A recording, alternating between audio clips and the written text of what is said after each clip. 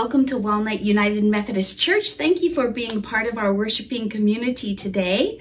A few announcements before we get going, um, and that is to tell you that today is the last day of February. Tomorrow starts March, and so we will have our trustees meeting um, at 7 p.m. on Zoom. So if you are a part of the trustees, please be there. Also, I wanted to um, restate and re-invite you uh, on March 21st. We will be celebrating, um, not celebrating, but marking the first year of COVID. Um, it was March 13th of last year that we uh, stopped in-person worship and uh, we are going to honor all of those that we have lost in the last year.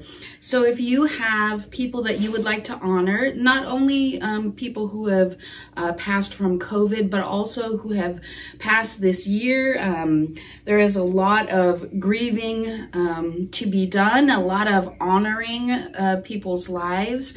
So please send me their names, uh, their information, photographs if you have them, and we'll um, put something together for March 21st.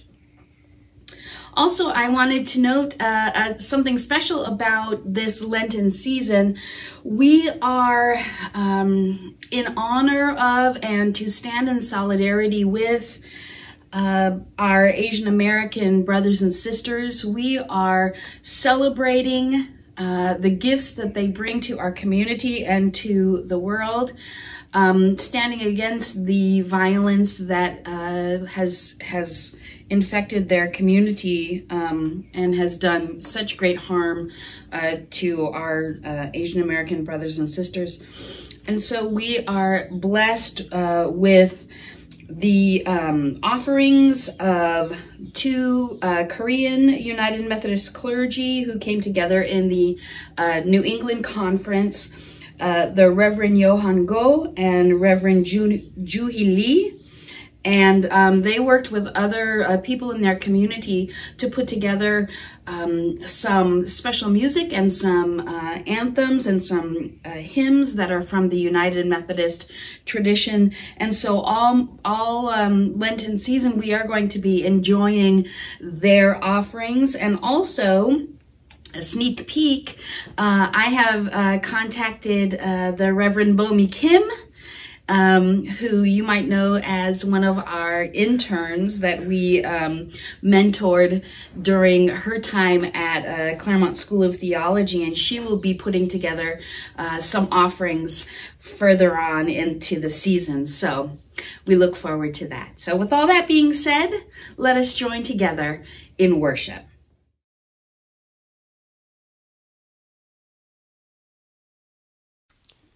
Please join in the call to worship.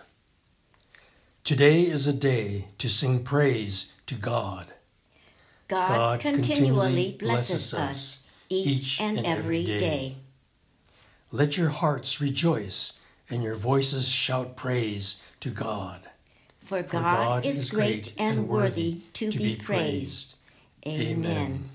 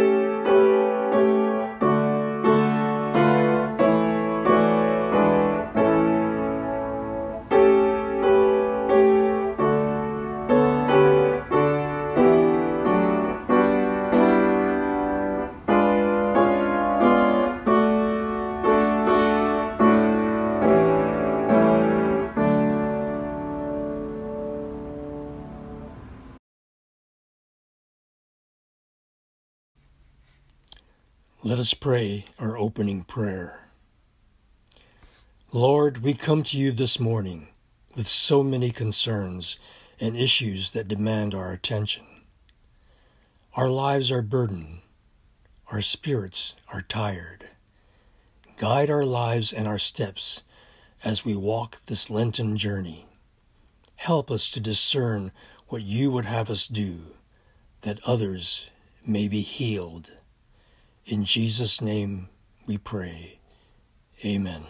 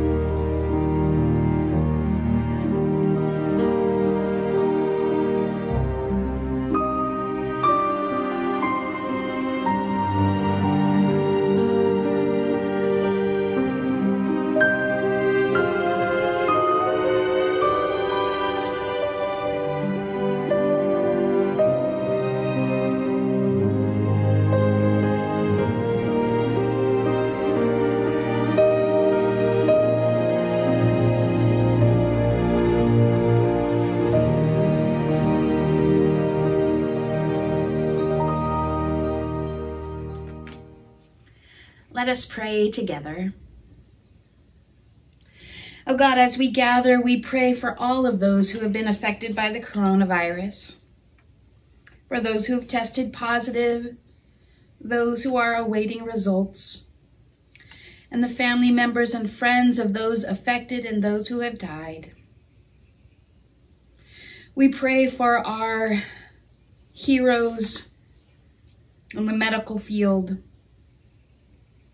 and all who are working in hospitals and urgent cares and care facilities for the elderly, rehab centers, those in care homes for vulnerable adults. Be with them, Lord, and keep them safe.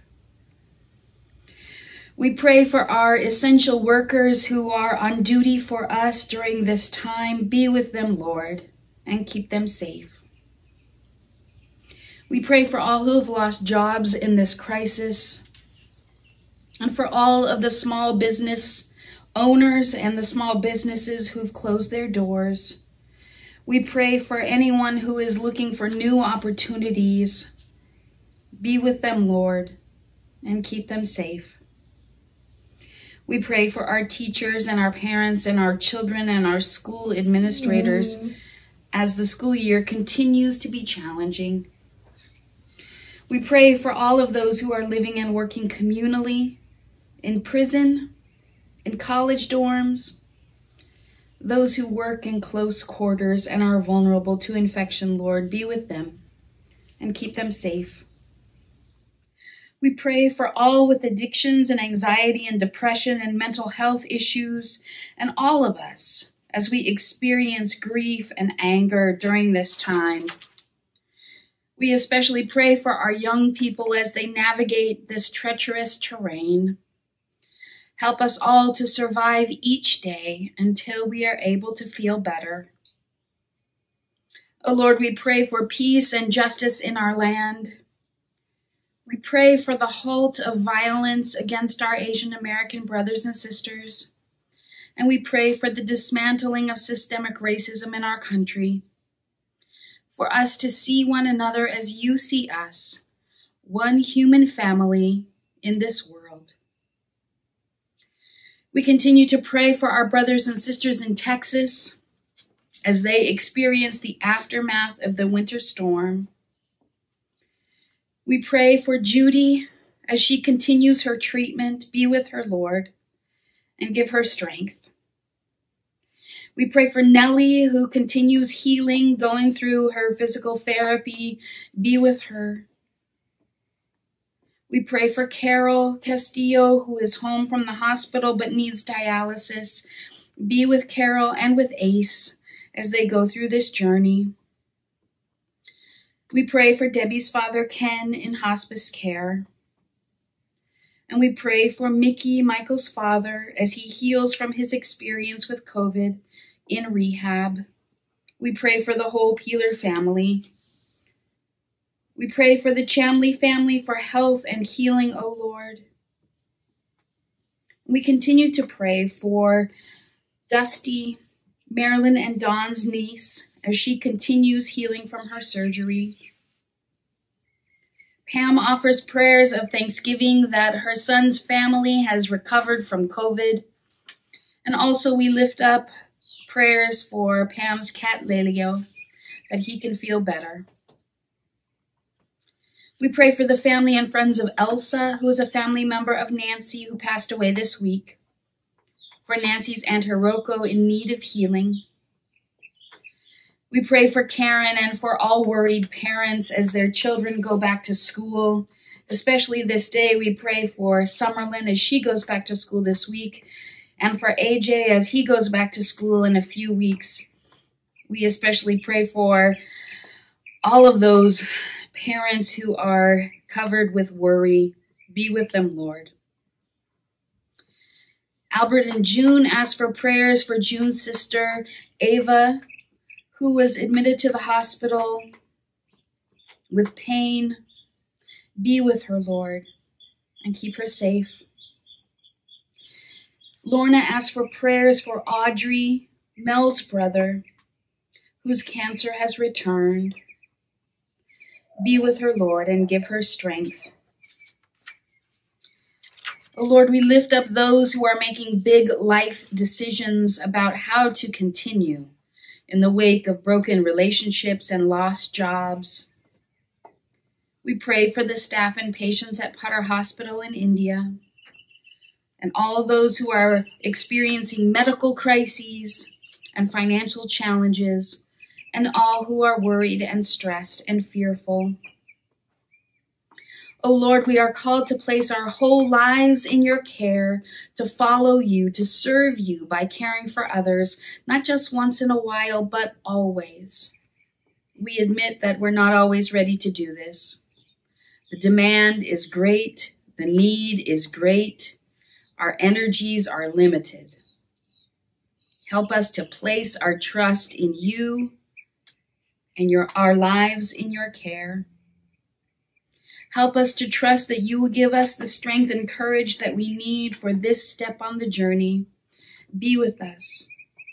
And help us to remember that your love is poured out for all your people and you are never far away. We pray all of this in the name of Jesus, as he taught us to pray when he said, Our Father who art in heaven, hallowed be thy name. Thy kingdom come Thy will be done on earth as it is in heaven. Give us this day our daily bread, and forgive us our trespasses, as we forgive those who trespass against us. And lead us not into temptation, but deliver us from evil. For thine is the kingdom, and the power, and the glory forever. Amen.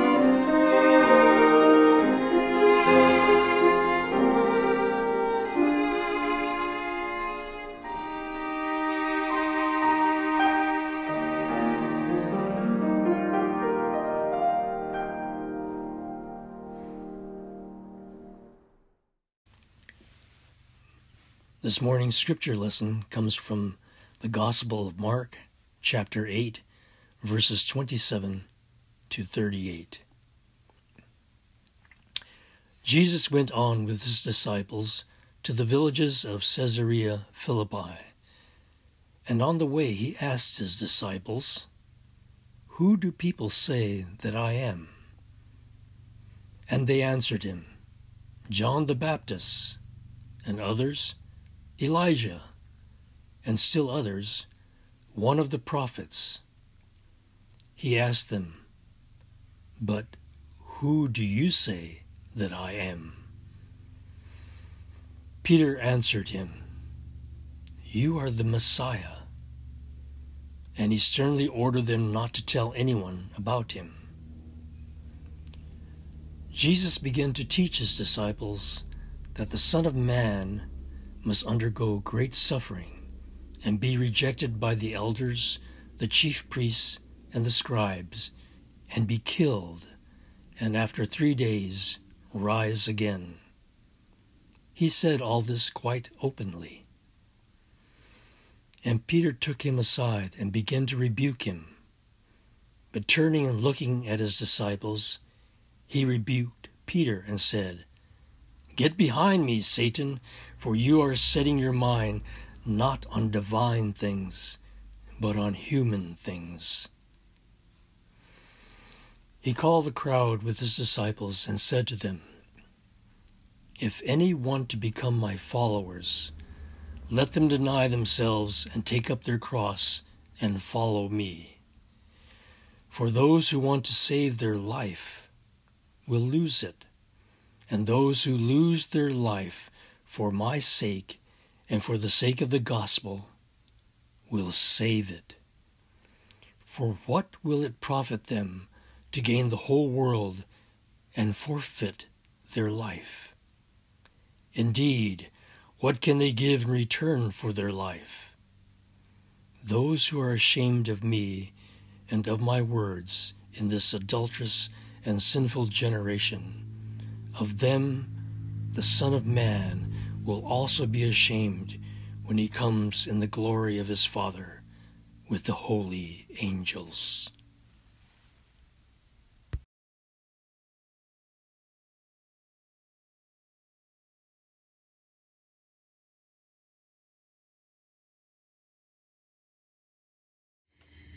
This week, our website went down. It may not seem like a big deal, and it, it may not turn out to be a big deal, and hopefully it will be an easy fix. But in a time in which all church activities are virtual, it feels like a big deal. functionally, it really doesn't make a huge difference in the life of the church. All of our videos are posted to our Facebook page and our YouTube channel, and you can still access the donation page by using the link provided, and I will send you an email with all the necessary links enclosed so you have everything at your fingertips. But the website, is a gathering of all the information into one virtual space. It's like the church itself, a gathering place for information and videos and data all in one place. And it shows the outside community who we are and what we believe. It's a visual demonstration of what is important to us. It's a visual demonstration of who is welcome and what is required to be a part of our community. It's a virtual answer to Jesus' question, Who do you say that I am? Jesus' question in our scripture lesson today hits us at the very core because it asks, Who are we? Not only that, but who do others say we are? Who do we say that we are? The website says here is a visual representation of who we are, what we think is important, how we live out our mission in Walnut. Now, the pandemic has been an overwhelming opportunity for all of us to ask that question and answer it anew in every aspect of our lives. Who are we as a church? Who are we as a family? Who are we as a nation? Who are we as a people? Who do we say that we are? And how do we express our values? And how do we learn and grow and reassess what is important to us? How do we communicate all of those vital values and beliefs to others? Because we notice in our scripture lesson today, Jesus is not going through kind of existential questions about who am I? He is not asking, Who am I? But he is asking, What are others saying about me? Who do you think I am? How is Jesus communicating who he is to others? Now, according to Malina and Rohrbaugh in their social science commentary of the Synoptic Gospels, in the time of Jesus, it was typical in the culture for people to use a two word ending of their name to define themselves based on outside influences. This is why it's important to identify whether somebody is Jesus of Nazareth or Saul of Tarsus or somebody from some other place. Because encoded in those two word uh, labels of wherever, Krista of Claremont, Krista of Walnut, encoded in those labels is all the information needed to place the person properly on the honor scale, and therefore all of the social information people are required to know about how to interact properly with him or her. For example, if I were to introduce myself to someone who is also a pastor, I would say, I am Krista. I am the pastor at Walnut United Methodist Church. Or if I'm introducing somebody, uh, a parent to another parent, I would say, uh, this is, um, this is Mrs. Anderson. She has a child in the preschool as well. This is Mr. You. He also has a child in the preschool. So that way that they could understand that they have something in common. So, how do we label ourselves and communicate that information to others? So, again, Jesus' question in our scripture is not the modern one, Who am I? Rather, he is asking, Who do people say that I am? Who do you say that I am? It is significant that he is asking the disciples and his followers, Who are you believing and saying that I am? So let's look at the scripture from the Gospel of Mark, chapter 8, verses 27 through 30. It begins like this. Jesus and his disciples went on to the villages around Caesarea Philippi, and on the way he asked them, who do people say that I am? And they replied, Some say John the Baptist, others say Elijah, and still others one of the prophets. But what about you? He asked. Who do you say that I am? Peter answered him, You are the Messiah. And Jesus warned them not to tell anyone about him. So the first question that Jesus asks the disciples, it feels like an impersonal question. Who are people saying that I am? And then the following answers were given. John the Baptist and Elijah, and some say one of the prophets.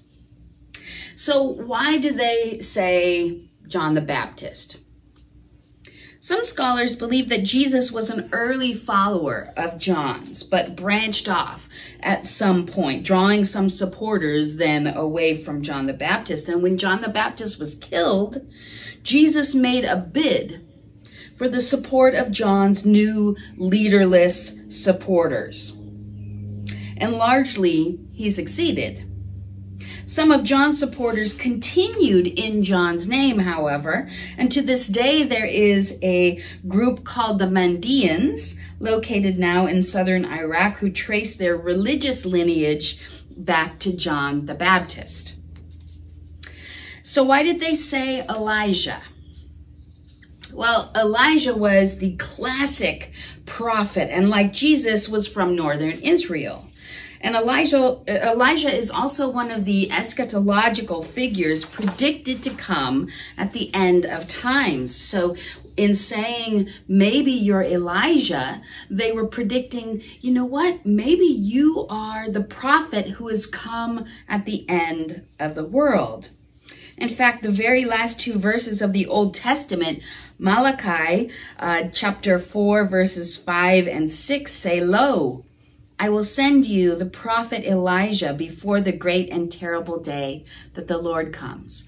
So in this um, telling of Jesus' identity, they're saying maybe you're the prophet Elijah who has come at the end of times. Now, um, in the Gospel of Matthew, when this story is told, um, they also add in Jeremiah maybe you're Jeremiah.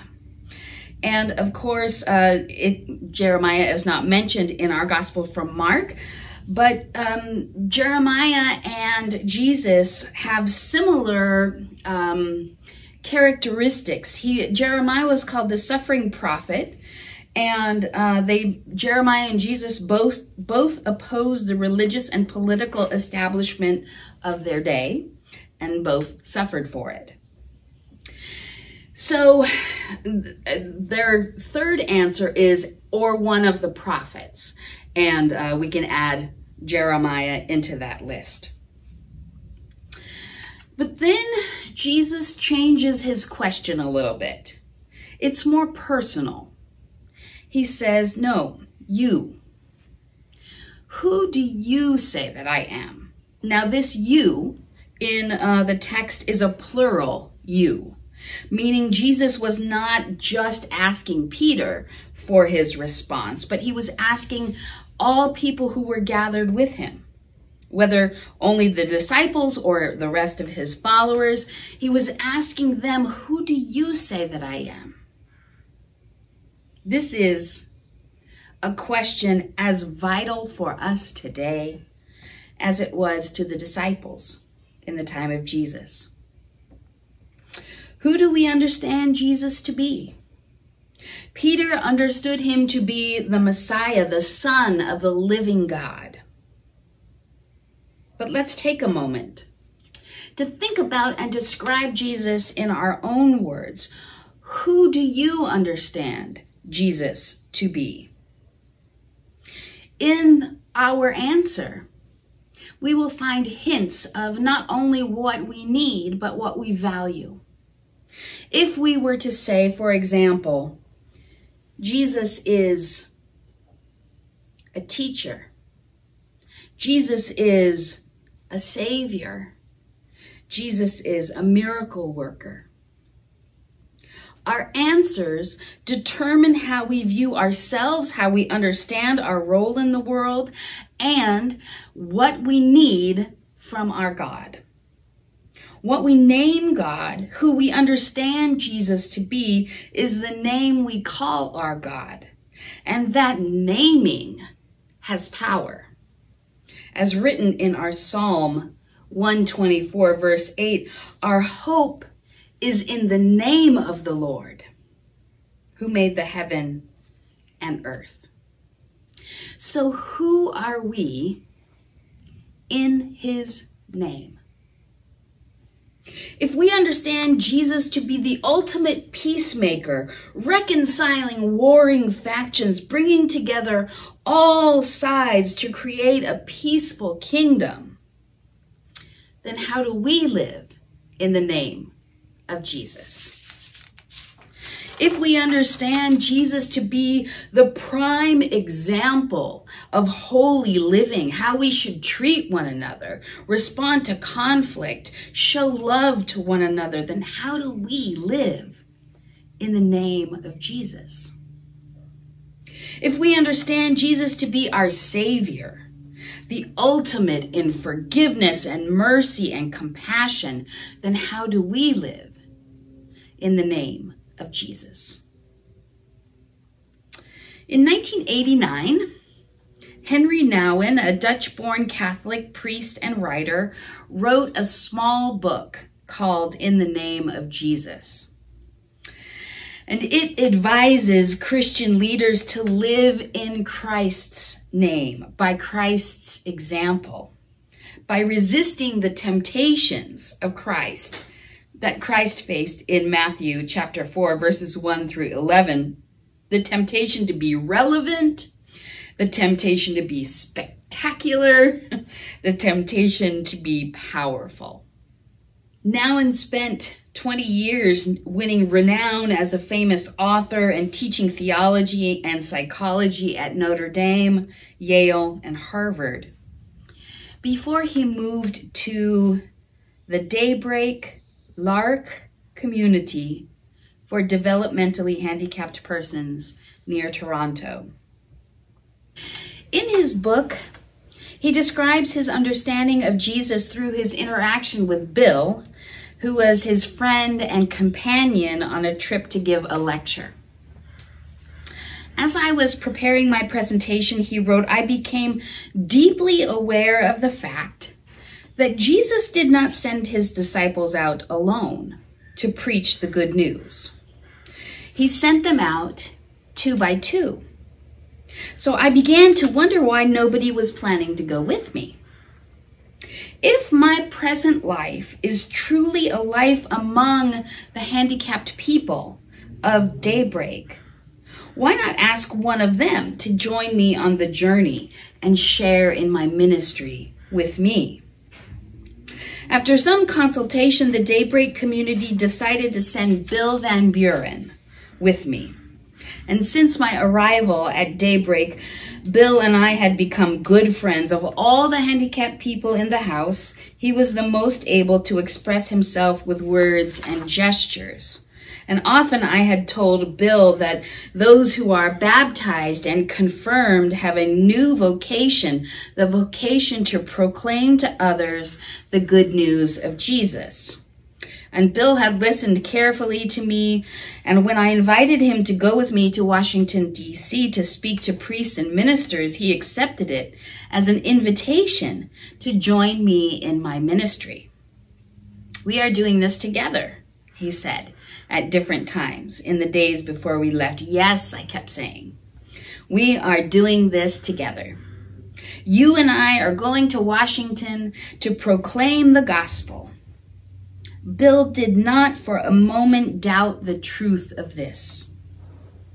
While I was quite nervous about what to say and how to say it, say it, Bill showed great confidence in his task. And while I was still thinking about Bill's trip with me as primarily a trip that would be something nice for him, Bill was, from the beginning, convinced that he was going to help me. I later came to realize that he knew better than I. As we stepped on to board the plane in Toronto, Bill reminded me again we are doing this together aren't we? Yes, Bill, I said. We sure are. After I had finished reading my text and the people had shown me their appreciation, Bill said to me, Henri, Can I say something now? My first reaction was, Oh my goodness, how am I going to handle this? He might start rambling and create an embarrassing situation. But then I caught myself in my presumption that he had done nothing of importance to say and nothing to say to the audience. Will you please sit down? Bill would like to say a few words to you. So Bill took the microphone and said, with all the difficulties he had in speaking, last time, when Henri went to Boston, he took John Smeltzer with him. This time he wanted me to come with him to Washington, and I am very glad to be here with you. Thank you very much. That was it. And everyone stood up and gave him warm applause. As he, we walked away from the podium, Bill said to me, Henri, how did you like my speech? Very much, I answered. Everyone was really happy with what you said. As we flew back together to Toronto, Bill said, Henri, did you like our trip? Oh, yes, I answered. It was a wonderful trip and I'm so glad that you came with me. Bill looked at me attentively and then said, And we did it together, didn't we? And then I realized the full truth of Jesus' words. Where two or three meet in my name, I am among them. Who do we understand Jesus to be? And how do we live in his name? How do we as individuals, as individual Christians, live in the name of Jesus? And how do we as a church live in the name of Jesus?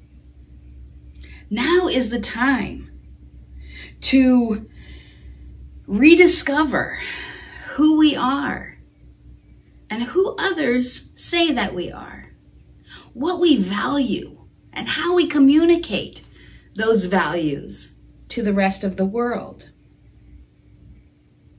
As we live day by day, let us recognize our responsibility to represent Jesus in every tasks,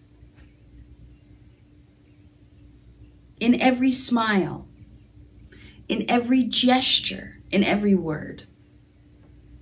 May we bear the name of Christ and be a model of Jesus' compassion and joy and peace and love.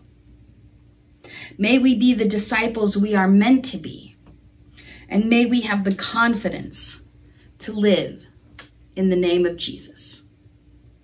Amen.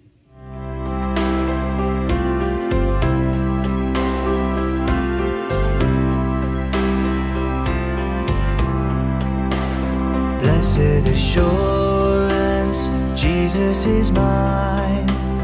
Oh, what a foretaste of glory divine, heir of salvation, purchase of God, born of His Spirit, washed in His blood. This is my story, this is my song, praising my Savior day long. This is my story, this is my song, praising my Savior all the day long.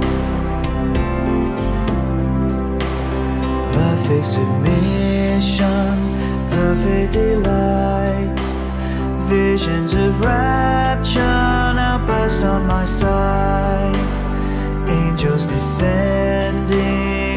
from above echoes of mercy, whispers of love. This is my story, this is my song, praising my Savior all the day long. This is my story. This is my song, praising my Savior all the day long.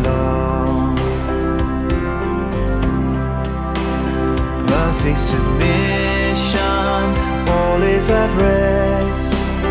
I and my Savior. Am happy and blessed, watching and waiting, looking above, filled with His goodness, lost in His love. This is my story, this is my song, praising my Savior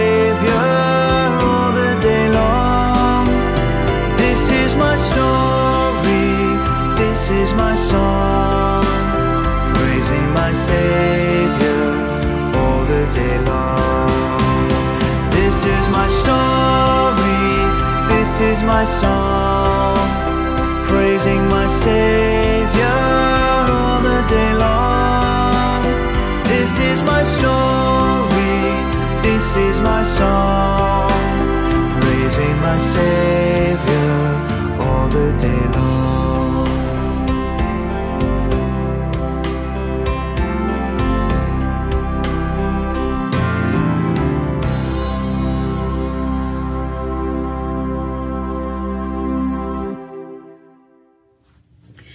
Go now into the world to be the people of God. And may God the Father, the Son, and the Holy Spirit go with you and be with you always. Amen.